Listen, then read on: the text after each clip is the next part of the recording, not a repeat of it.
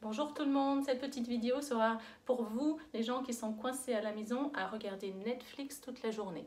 Donc la position du couch, du canapé, avec les bras arrondis, en mangeant des chips. Donc cela, on va vous ramener un petit peu d'énergie au niveau du bas du ventre, de la force au niveau du dos, de tout le renforce musculaire de la chaîne postérieure et puis l'ouverture du bassin des hanches à l'avant. Enfin, un peu plein de bonnes choses pour réveiller ce corps, vous ramener de l'énergie et réouvrir la posture. Voilà, régalez-vous bien. À bientôt. Ah, et puis comme toujours, si vous pouvez liker, souscrire et puis partager, ce serait super. Voilà, plein de bisous.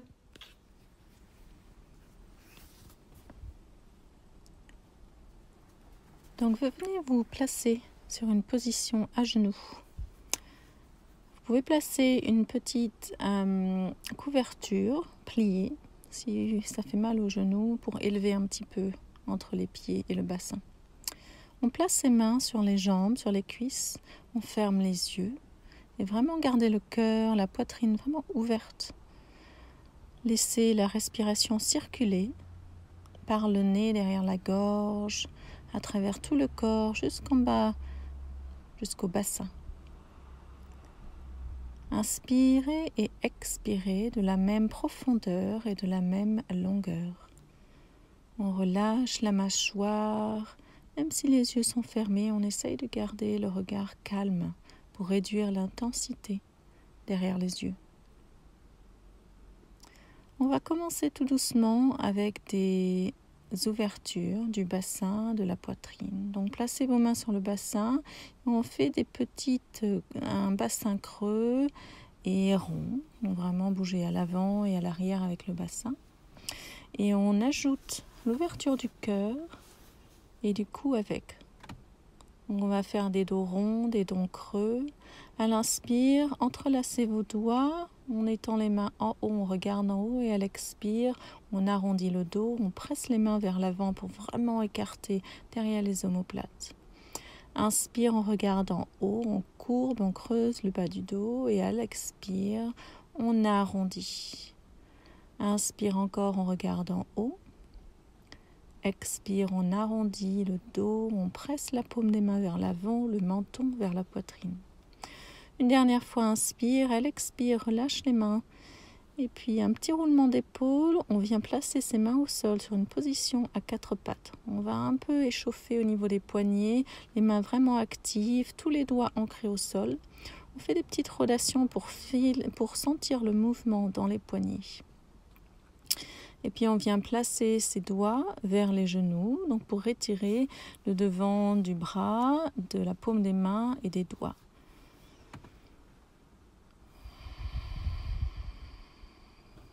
Super.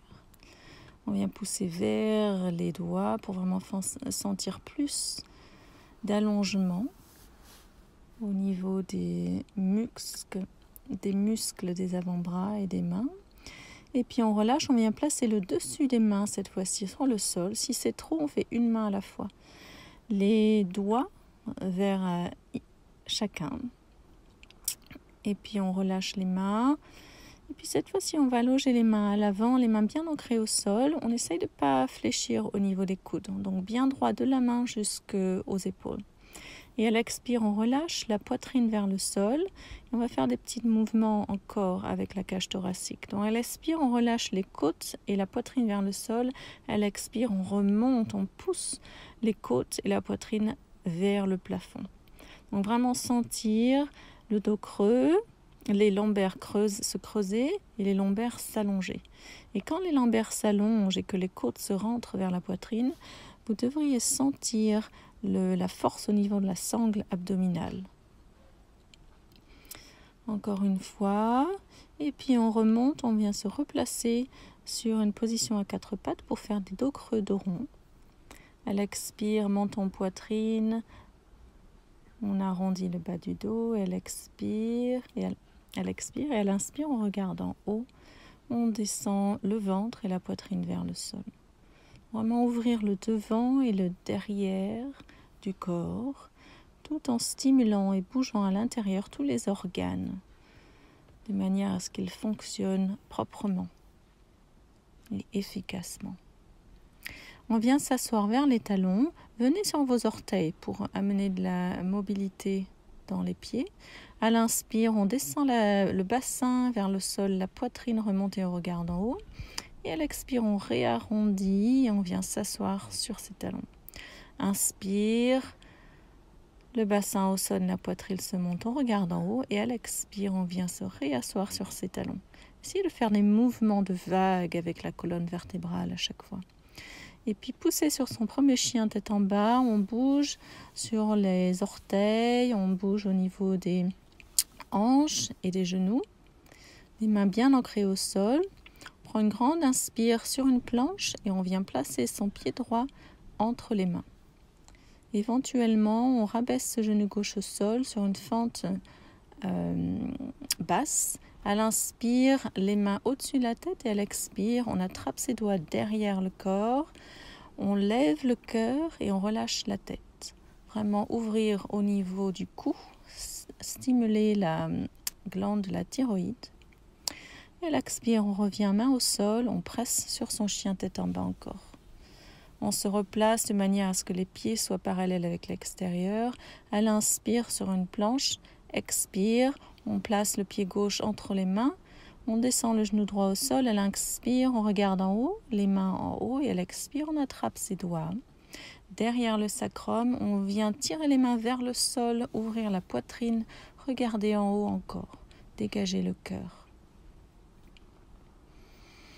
Regarde en bas, expire, les mains au sol, on repousse sur un chien, tête en bas en réajustant les pieds encore. Le menton rentré pour regarder vers le nombril. Et puis on marche les mains vers les pieds et on vient attraper ses coudes et on relâche au niveau de la colonne vertébrale. Donc on laisse la gravité faire le travail. Si comme moi vous aimez des positions inversées un petit peu plus actives, on vient prendre la position Shirshasana sur ses coudes et on remonte les pieds vers le plafond. Si vous êtes sur une position où vous relâchez la colonne vertébrale, vraiment soyez sûr que le cou, les épaules soient bien lâches, bien souples. Si vous prenez une inversion comme moi, une position inversée active, faites des petits jeux de jambes comme vous voulez les pratiquer. Soit redescendre les pieds au sol et remonter ou prenez des formes avec vos jambes. Tout doucement, on redescend et on vient se replacer sur une position de chien tête en bas. Où que vous soyez, revenez les mains ancrées, les pieds ancrés. À l'inspire, on vient sur une planche. On prend quelques respirations là et on redescend sur une planche sur les avant-bras. Les mains bien ancrées au sol encore, les doigts bien écartés, de la largeur des épaules. On redescend les hanches, les genoux, le dessus des pieds au sol sur une position du sphinx. Et puis on revient sur les orteils, on va travailler un petit peu la sangle abdominale et on pousse, on relève les fessiers hors du sol, on rentre le ventre vers les lombaires, un, dos bien droit, un cou bien allongé, tout en respirant profondément. Fortifier un petit peu le corps. Avec, si vous avez regardé la télé beaucoup, on ramène un petit peu de force. Si vous voulez aller plus loin, que le sphinx, vous pouvez venir comme moi et étendre les bras. Si vous avez mal au bas du dos, restez avec les coudes au sol. Encore grande respiration profonde. À l'expire, on redescend sur ses coudes et puis on recommence encore sur une planche sur les coudes. Si vous voulez aller encore plus loin, vous pouvez rester sur une planche sur le dessus des pieds. Comme ça, vous avez un grand étirement au niveau du, du niveau du devant de la cheville et du pied. Encore, on pousse le sol. Il faut sentir l'action en dessous des, des bras. Les épaules bien actives. On redescend au sol. On va travailler un petit peu le bas du dos. La chaîne postérieure. Quand on est affalé pendant longtemps, c'est bien de refortifier tout le bas du dos pour ouvrir la posture. On étend les bras au niveau des oreilles, paume des mains vers le plafond, expire, on ramène les coudes vers le côté. On lève les jambes sans plier aux genoux. Inspire, on étend les bras en haut, expire, on tire les coudes vers le côté du corps. Vraiment sentez la force derrière les omoplates. Inspire, on étend, Expire, on vient attraper ses mains derrière les fessiers et on tire les mains vers les pieds tout en gardant les jambes et les pieds hors du sol.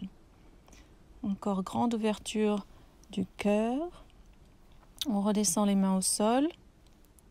À l'inspire, soit on monte sur un petit cobra, ou soit on vient sur chaturanga et on remonte sur un chien tête en haut, où vos genoux et vos hanches seront hors du sol, on réarrondit sur un chien tête en bas, on réajuste les pieds et on regarde vers le nombril. Chien à trois pattes, on lève le pied droit et à l'expire, on vient toucher le genou droit sur le triceps droit. Éventuellement, place votre pied à l'extérieur de la main, on redescend le genou gauche au sol. On descend les hanches au sol, on sent l'ouverture devant la hanche gauche. Attrapez vos mains derrière les fessiers, le bassin. Et puis tout doucement, on vient se rallonger vers l'avant pour faire une grande ouverture au niveau du bassin. Et on étend les bras au-dessus de la tête pour ouvrir au niveau des épaules. Si c'est là, vous pouvez placer votre front sur le sol. On respire bien fort. À l'inspire, on remonte les bras au-dessus de la tête. À l'expire, sur la position du guerrier, mais on reste sur cette position de, de fente basse. Inspire, on regarde en haut. Et à l'expire, les mains au sol, on repousse sur un chien tête en bas. On va faire pareil de l'autre côté. À l'inspire, on remonte le pied gauche. Et à l'expire, on vient en planche et on vient placer son genou gauche à l'extérieur du triceps gauche. On tient. Et on place le pied à l'extérieur de la main gauche et on place le genou droit au sol. Grand inspire, on étend les mains au-dessus de la tête. À l'expire, on vient attraper ses mains derrière le corps, derrière le bassin. On descend les mains vers le sol et à l'expire, encore on descend vers l'avant descendre la tête à l'intérieur de la cheville. On remonte les bras, on essaye de bouger un petit peu dans les épaules, de respirer profondément. Grande ouverture encore du bassin, plein d'émotions qui sont coincées dans le bassin. On relâche.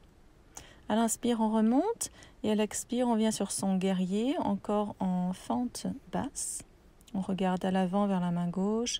Inspire. On lève la main gauche au plafond, on étend le côté gauche et à l'expire, main au sol, on revient sur son chien tête en bas.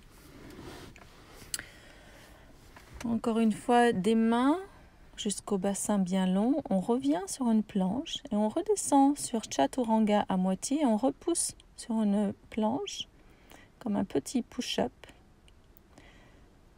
Et on descend encore une fois on va faire une ouverture du bas du dos, du devant du dos. On attrape son pied droit avec la main droite, on presse et on pousse sur la main gauche tout en gardant le bras gauche bien ouvert, bien long. Donc essayez de ne pas relâcher trop le coup de sol, mais si vous avez besoin, relâchez le coup de sol bien sûr. Et on relâche, on va faire pareil de l'autre côté. Un demi-arc de l'autre côté. On attrape le pied gauche avec la main gauche, on pousse sur la main droite, on pousse en dessus de l'épaule du dessous du bras droit. Et on regarde à l'avant tout en ouvrant la poitrine, le cœur, le devant de la jambe gauche. Et à l'expire, on redescend. Encore, on place les mains le long du corps, le dessus des pieds sur le sol, les jambes bien énergiques. À l'inspire, sur un chien tête en haut. Et à l'expire, on remonte chien tête en bas, on réajuste les pieds. On vient regarder vers son nombril encore.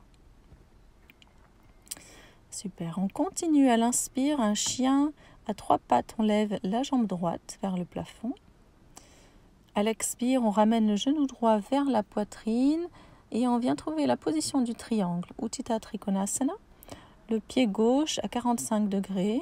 Ici, regardez le pied droit, on attrape soit l'orteil ou soit on passe sa main devant la cheville ou sur la cheville ou sur un bloc si vous en avez un. Et on regarde après sur la main du haut, la main gauche. Vraiment sentir l'ouverture de ce côté gauche, le flanc gauche, de la jambe, de la, du bassin gauche jusqu'à l'épaule gauche. Et puis on regarde en bas, on va faire une petite posture d'équilibre. Vous pouvez avoir ça la main au sol ou sur un bloc. Et si vous voulez aller plus loin, on essaye de lever cette main du sol pour qu'éventuellement on ne tienne que sur cette jambe droite. Pour cette posture, on a le bassin ouvert extérieurement. Donc lever la hanche gauche vers le plafond, fléchir le pied gauche. À l'inspire, on revient sur une fente haute, le pied gauche au sol. On revient sur un guerrier. On regarde vers la main droite, bien assis sur les pieds sur les jambes. Chantez la force. Bien ancré au sol. À l'inspire, on reverse. Et à l'expire, les mains au sol. On presse et on revient sur un chien tête en bas. À l'inspire sur une planche, expire à moitié. Inspire encore en push-up. Expire chaturanga. Inspire, on revient chien tête en haut et expire chien tête en bas. On va faire pareil de l'autre côté. Inspirez, la jambe gauche se lève. À l'expire, le genou vers la poitrine, on dépose le pied gauche entre les mains, le pied droit à 45 degrés. On regarde au sol pour commencer. À l'expire, la main droite vers le plafond et puis éventuellement on regarde la main droite. Encore, sentez la grande ouverture sur le flanc droit, le côté droit, les pieds bien ancrés au sol.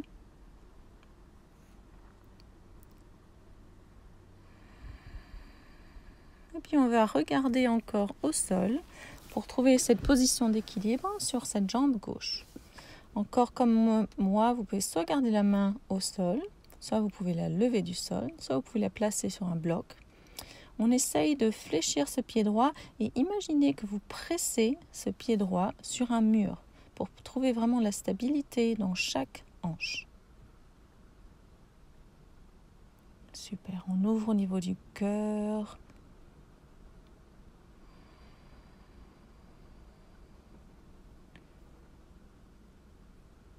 Sentir bien. Focus. À l'expire, on redescend et on vient se placer en position du guerrier. On ouvre les mains en alignement avec les chevilles et on regarde vers la main gauche, bien ancré en sol encore. On garde le périnée levé, le bas du ventre collé vers les lombaires. L'énergie de la main gauche à la main droite, vraiment créer de l'énergie de la longueur. À l'inspire, on remonte la main gauche, on regarde en haut et à l'expire, on vient se replacer position chien tête en bas.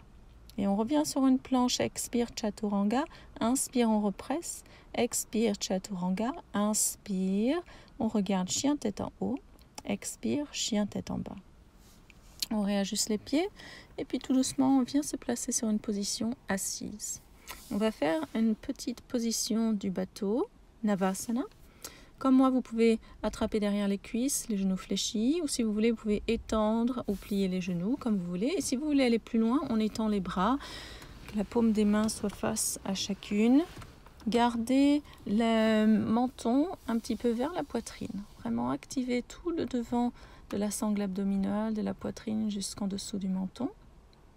Et puis tout doucement on relâche, on va inverser la posture, on étend les jambes, les pieds pointus, et les orteils qui se touchent, on lève le pelvis, la poitrine vers le plafond, on relâche la tête. Si c'est trop pour vous, vous pouvez plier au niveau des genoux, garder les pieds de la largeur du bassin. Et on relâche tout doucement. Super. On vient se placer sur la position Gomukhasana. Je ne sais pas trop comment on appelle celle-là en français mais en sanskrit, c'est Gomukhasana. Donc, comme moi, soit, si c'est possible, on vient placer les genoux les uns sur les autres de cette manière et les pieds seront à l'extérieur de votre bassin. Si c'est trop, on étend la jambe droite à l'avant. Et si vous voulez, vous pouvez élever le bassin avec un coussin ou un bloc. Super. Grande ouverture au niveau du bassin, on relâche, on garde le cœur ouvert, la colonne vertébrale bien droite. À l'inspire, on étend les mains en haut. À l'expire, on ouvre sur une torsion et on vient placer sa main droite à l'extérieur du genou gauche et on regarde vers l'épaule gauche. Le regard posé au sol.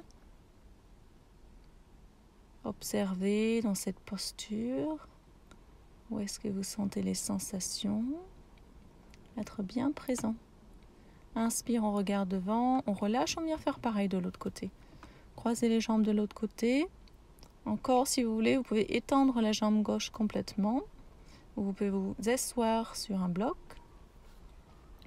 À l'inspire, on lève les mains. À l'expire, on trouve sa torsion et on vient placer bras gauche à l'extérieur du genou droit, main droite derrière le bassin, on regarde vers l'épaule droite et au sol. À l'inspire, on, on lève le cœur. À l'expire, peut-être qu'on twiste un petit peu plus.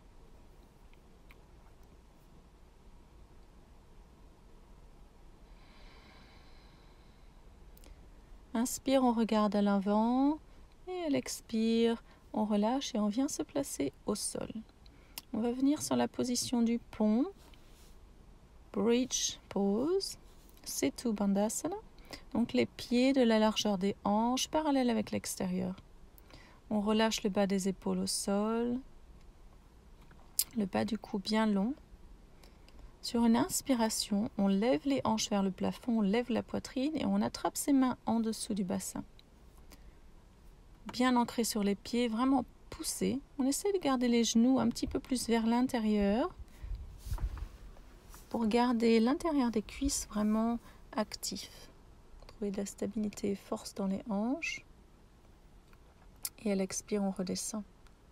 On va faire un deuxième pont ici. Soit vous pouvez rester avec cette option, à l'inspire, remonter sur votre pont, soit comme moi, si vous voulez aller plus loin sur Urdhva Dhanurasana, la roue, on vient placer ses mains derrière les épaules et encore sur une inspiration, on lève les hanches au sol, la poitrine, on vient se placer peut-être sur la tête d'abord, on réajuste les mains et on repousse.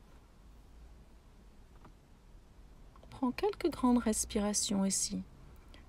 Assez souvent, on retient ses respirations quand c'est un peu plus intense. Donc c'est l'inverse qu'on essaye de faire. Vraiment respirer profondément, amener de l'oxygène à tous ces tissus, aux muscles, aux tissus connectifs, aux organes, au cœur. Et tout doucement, on redescend au sol. On vient attraper ses genoux,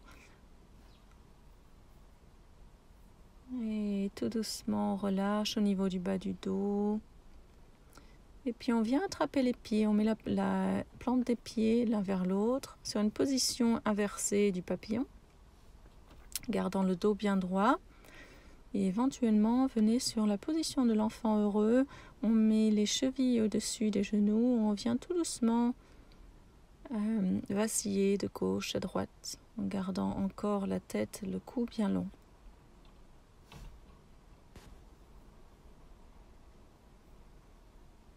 Et puis on vient trouver une dernière euh, petite position inversée en étant les jambes en l'air et les bras en l'air. Juste quelques respirations ici. Vraiment laisser le sang euh, euh, voyager des pieds jusque dans les jambes pour venir dans les organes, dans le bassin, dans le cœur. Vraiment ramener du sang, du blood flow dans tous les organes.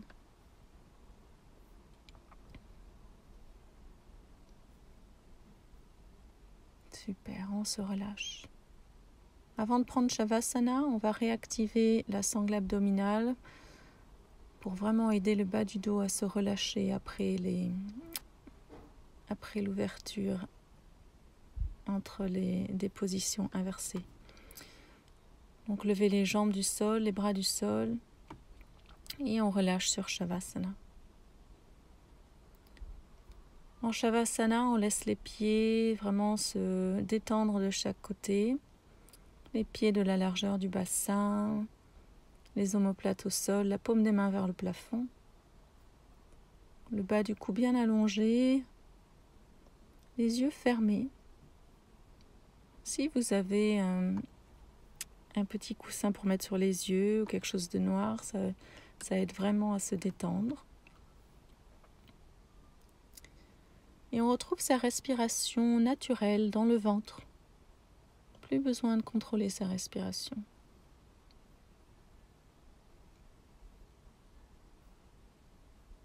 On observe le ventre monter et descendre.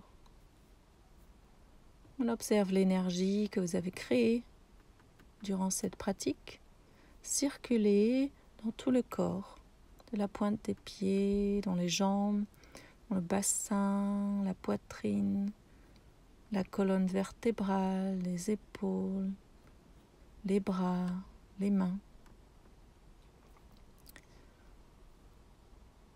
la tête. Observez comment vous vous sentez. Et puis éventuellement, laissez l'esprit voyager, laissez l'esprit aller là où il veut aller.